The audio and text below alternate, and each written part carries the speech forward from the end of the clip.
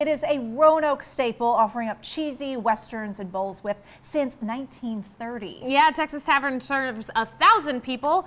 10 at a time, and it is a must visit whenever people come in town or if you're hungry, you know, at 2 a.m. Mm -hmm. Now, we stopped by to talk to the owner about a cool new des designation they received from USA Today. Take a look.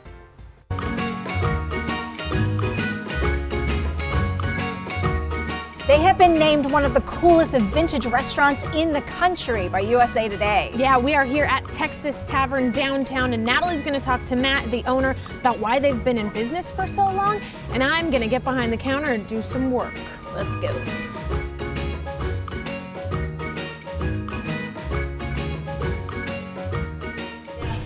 Plain cheesy? Randy's working hard over there. Western with.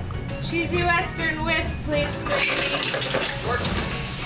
I think he's working on it. Matt, it's good to be here again. Hey, we're glad you're here. Yeah, the last time I was here, well, it wasn't during the day. Well, I won't tell that story.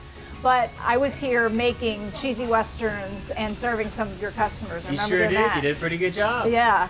And you guys have been open for over 80 years, is that right? 88 years. Where we just celebrated this past February. We opened in 1930. That is pretty incredible. And you were just voted the Mid-Atlantic's coolest vintage restaurant. Yeah, I think one of the coolest vintage restaurants in the Mid-Atlantic. So we, uh, we agree with that distinction, but we'll gladly take it. This is a unique experience for people.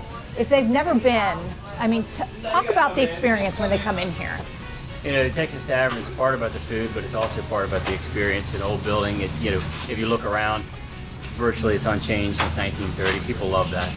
And I call it a cultural mooring, especially if you grew up in Roanoke. Mm -hmm. But even if you didn't, it's kind of one of those places that you come into that like it throws you back in time, and that's really important component of our business. We try to stay true to that, you know, with most most everything. Um, but yeah, it's the, the experience from you know the the banter behind the counter with the customers and the employees know, everything else that comes along with it. So we, we think it's a unique, special place. And you have your regulars too, who come in oh, all the time, and oh, you know yeah. them by name. You know what they're yeah. ordering. Oh, yeah. You just kind of talk well, about. Somebody your... loves it when they come in and they, as they're parking their car, we have their food ready on the counter, and they sit down. It's there. Yeah customers are what have kept us in business for 88 years. And if we're able to keep going for another 88, that's who's going to keep us in business. So nice. you got to take care of them. Yeah, you do, and you do. Look at that. Brittany just, uh, thank Did you. You, make that, Brittany? you made that? I did. All right, so tell people if they're not familiar. All right, so a cheesy with is easy way to remember it is yeah. with just means onions. So if you have a bowl of yeah. chili, you'd order as a bowl. Uh huh. And onions, it'd be a bowl. With. Correct. So you want everything on a cheesy plus onions, cheesy with. And a cheesy is a cheesy western. Okay. Which is what I lingo. ordered. Yep. Mm -hmm. Yeah. We have a lingo here. If you want a hamburger with onions, you just order it as one with. And it is so delightful. Thank you so much for having us. Yeah, pleasure to have Thank you so much for putting Brittany to work. Absolutely. At least she's doing she, something She's scheduled here. for the night shift later this week. Awesome. She didn't know that yet. Make her do dishes, Matt, Absolutely. okay? Absolutely. Lots of dishes. Awesome. All right. Well, congratulations right. again. Thank you. Appreciate it. All right, so you want to taste your creation? Did you make this? I didn't. That's good. Then yeah. I will eat it. good idea. Cheers. Mmm. Oh, good. Good stuff. Good job, Randy.